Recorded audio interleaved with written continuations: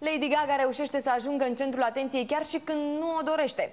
Abia coborâtă din avion la Londra, cântăreața s-a potignit și a căzut pe poda chiar sub obiectivele fotografilor. Se pare că de vină au fost cizmele sale cu talpă groasă foarte impresionante, dar mai puțin potrivite pentru mers, să spunem.